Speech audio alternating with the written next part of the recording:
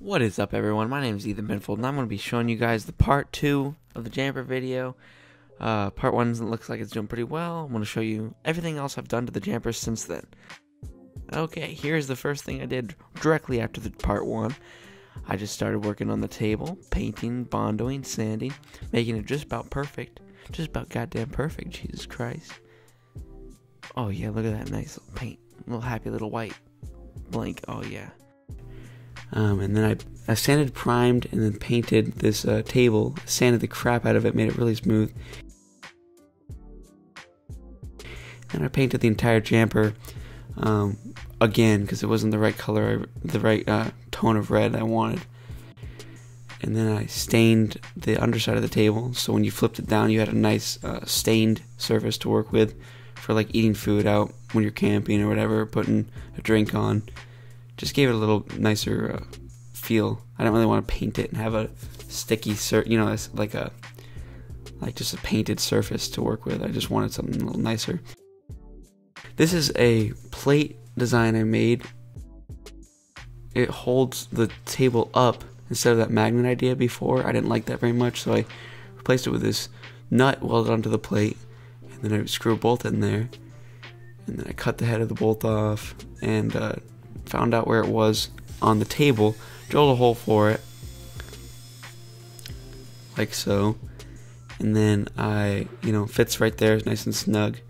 And then I made it, welded this little cross member there so it twists on and off. So you can just put it up there and twist it instead of having a magnet. I felt that it was a lot sturdier in the long run. The magnet kind of fell off. And then I drill a hole through the entire assembly. Um, so you just untwist it, hook it in there, and the cable would hold the whole table up.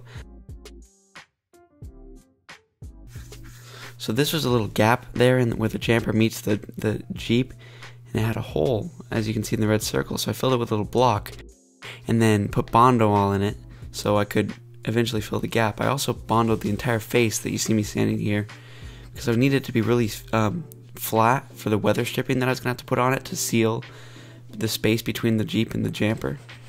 And then I'm sanding that block out with my square block so it could look kind of professional and factory.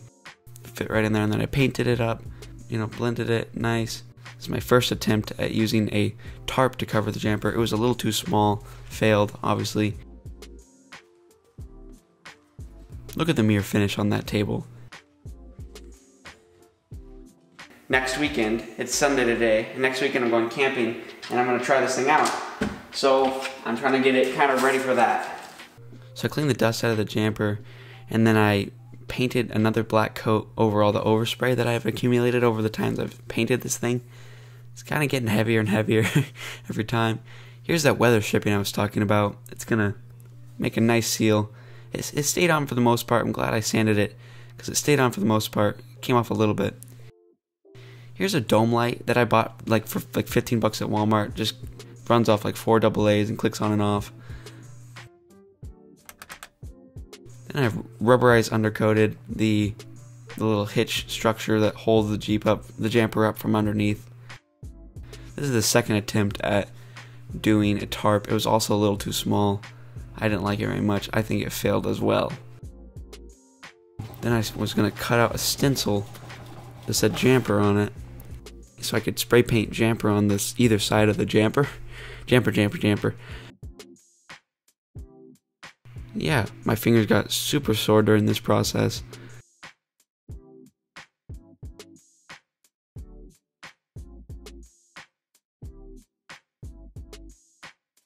And I think the stencil look really gave it like that old time Willys military Jeep feel, you know? Because they used to just stencil all the numbers on the Jeeps and stuff. So it looks kind of shitty, but I kind of like it that way, you know? It's kind of how it's supposed to be. Here's me welding up little brackets you're going to get to see more of in a second. This is just me welding them up. So we're out here at the dunes. Jeep looks nice.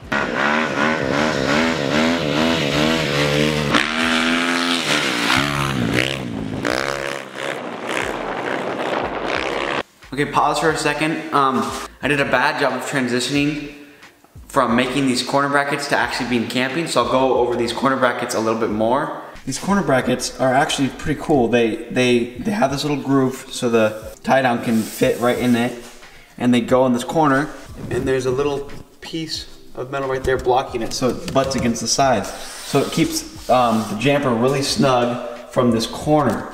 Instead of strapping it down from the top and the side, you can just strap it up in the corner and it doesn't move when you're going over bumps and stuff. But also I built these little brackets down here that hold the tie in place, and I'll show you that in a second. So these are those hooks I was talking about right here. There's, it's just a piece of angle iron that I cut a hole in for the, the mount that the seatbelt used to be in. So the tie down just fits right in there. Same with this side. Tie down just fits right in there. So that's what it's tied down to. Pretty low profile. You don't hit it when you're sleeping, when you're rolling over. You don't jam your side into it or anything. So this kind of gives you a good idea of how well the mattress itself, by itself, there's two mattresses here, this thin one and the memory foam one, how well they all roll up inside the jamper like that.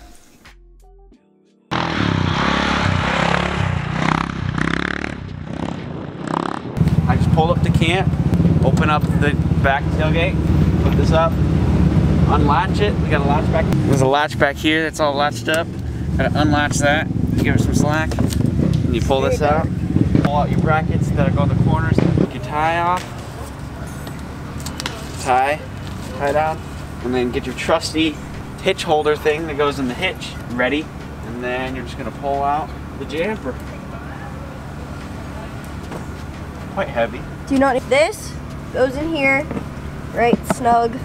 Get this, put that there, let's back up.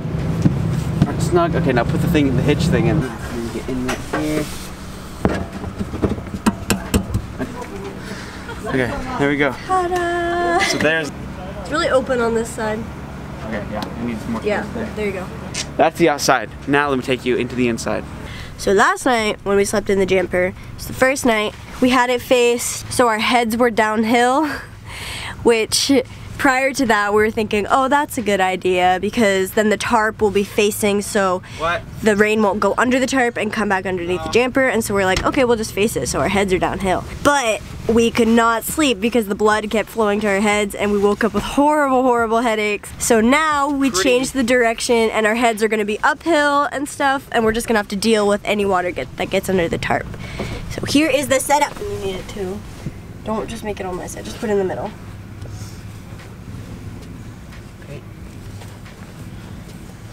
Oh, it's nice and warm actually. Let me this. Those back where they were.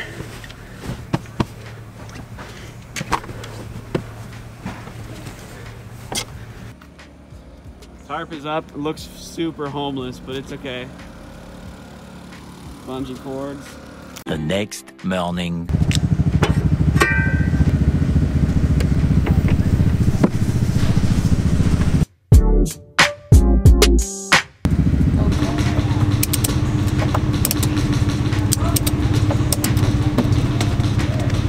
Sturdy.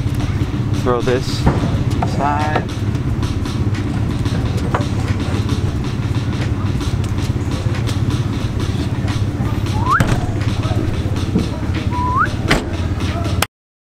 Thank you so much for watching this video. Make sure to like and subscribe if you haven't subscribed yet. There's definitely something wrong with you. But um, that's fine. That's fine. That's not my. That's not not my problem. I might be doing more stuff between now and the trip I go on to the beginning of summer. And I guess I'll just film whatever I change, and then I'll just put it in like other videos, like vlogs, do little updates and stuff. So click the notification bell, subscribe, like, comment. Bye.